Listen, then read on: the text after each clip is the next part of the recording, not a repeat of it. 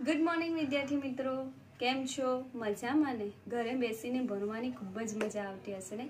જેમ અમને ભણાવવાની ખૂબ જ મજા આવે છે, તેમ તમને પણ ભણવાની મજા આવતી હશે. બરાબર ને?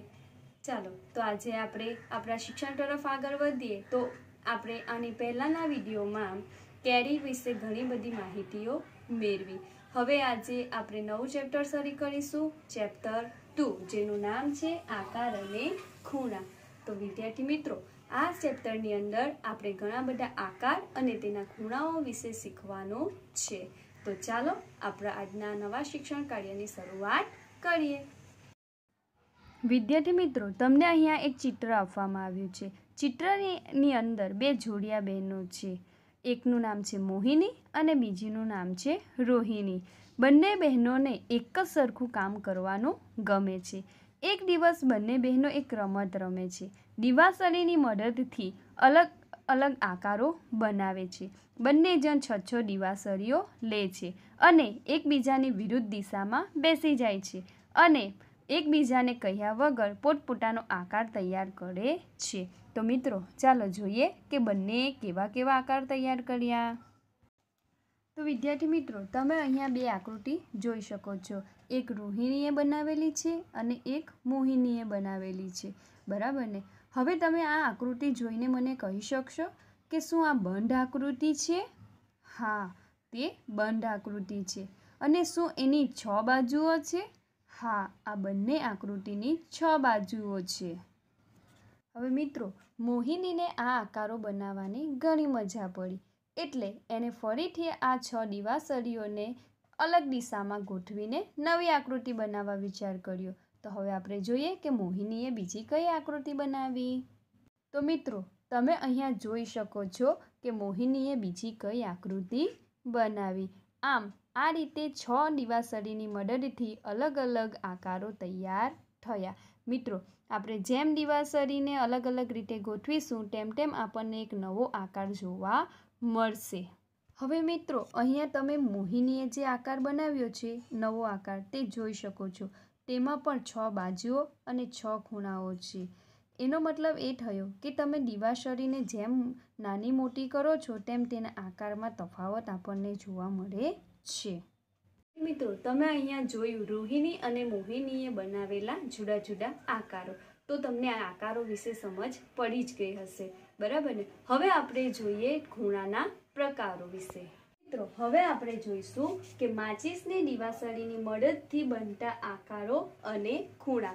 આપણે અલગ અલગ માચિસો લઈશું. બે લઈશું, ત્રણ લઈશું, ચાર લઈશું, પાંચ લઈશું. એવી રીતે આપણે કુલ દસ માચિસ લઈશું અને એ ટીલી, માચિસની ટીલરીઓની મદદથી આપણે અલગ અલગ આકારો બનાવવાના પ્રયત્નો કરશું. ચાલો આપણે જોઈએ અલગ અલગ આકારો અને તેના, તેનાથી બનતા ખૂણાઓ.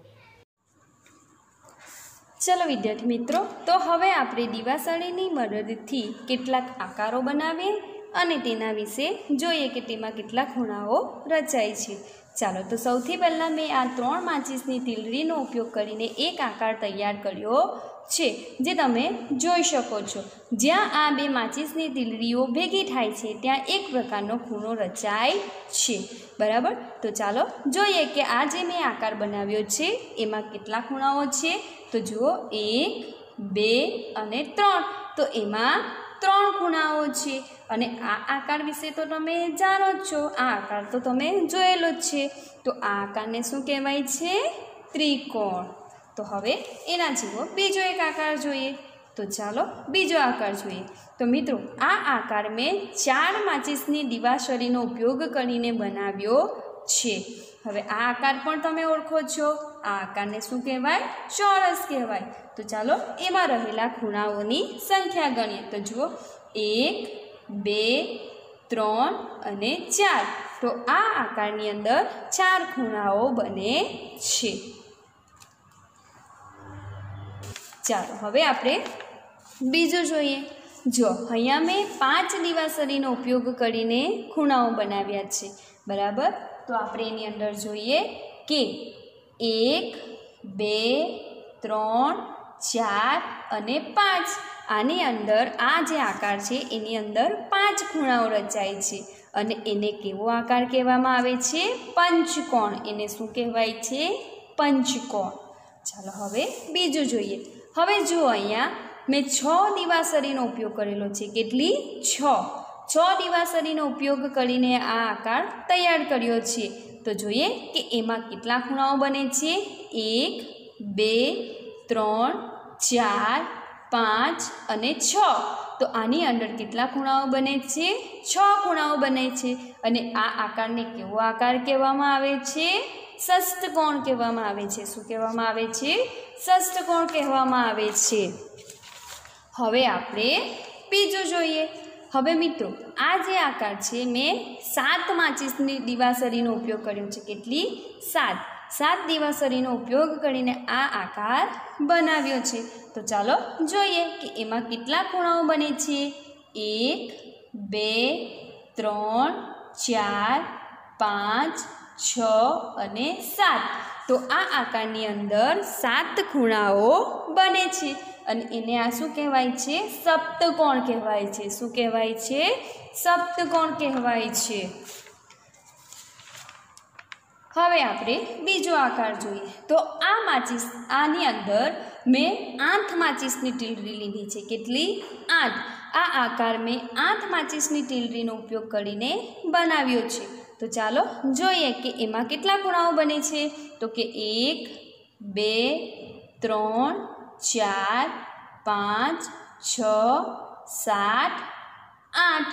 તો આમ આકારમાં આઠ ખૂણાઓ બને છે અને એને શું કહેવાય છે? અષ્ટકોણ કહેવાય છે. શું કહેવાય છે? અષ્ટકોણ, જેની અંદર આઠ ખૂણાઓ આવેલા છે. હવે આપણે બીજો એક આકાર જોઈએ, જે આ આકારમાં મેં નવ દિવાસરીનો ઉપયોગ કરેલો છે. કેટલી? નવ. મેં આ નવ દિવાસરીનો ઉપયોગ કરીને આ આકાર તૈયાર કર્યો છે. તો જુઓ, એમાં કેટલા ખૂણા છે? એક, બે, ત્રણ, ચાર, પાંચ, છ, સાત, આઠ અને નવ. તો આ જે આકાર છે, એની અંદર કેટલા ખૂણા છે?